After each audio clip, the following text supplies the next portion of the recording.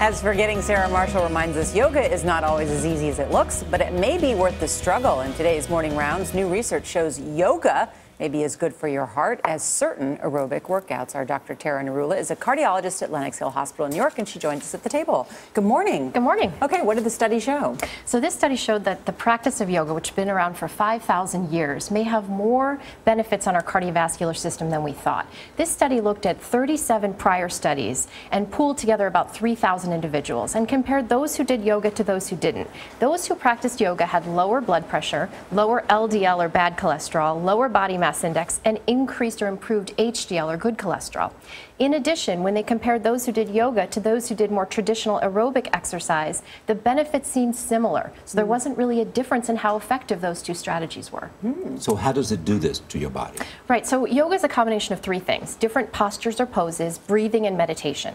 In terms of the posture aspect, there's probably benefits to the muscles and how they process blood sugar, as well as a little bit of improved aerobic fitness depending on how strenuous the yoga is. But most importantly is really the breathing and meditation part. That's where you're using that time to turn off the stress response that's constantly on during the day. You're lowering your blood pressure, lowering your heart rate and your respiratory rate, and decreasing those stress hormones that can increase inflammation. And so by doing that, you're improving your metabolism, lowering inflammation, and changing how your body reacts to stress, not just at the time of yoga, but potentially throughout the rest of the day by practicing mindfulness. Well, listen, I've tried it three times, and other than hating the bending, the twisting, the breathing, the stretching, I thought it was great.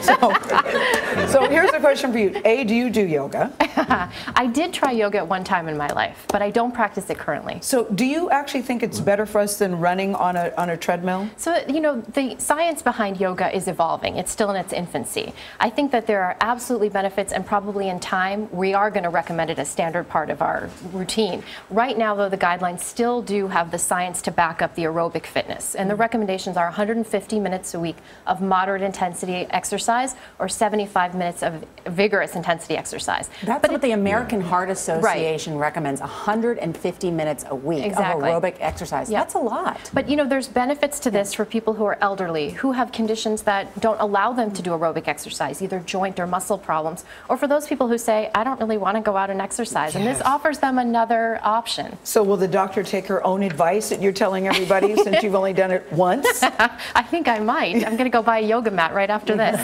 You're also going into meditation, you suggest. That's right, yes. I have heard good things about that. I actually think that works. yeah. Good to see you, Dr. Tara, always.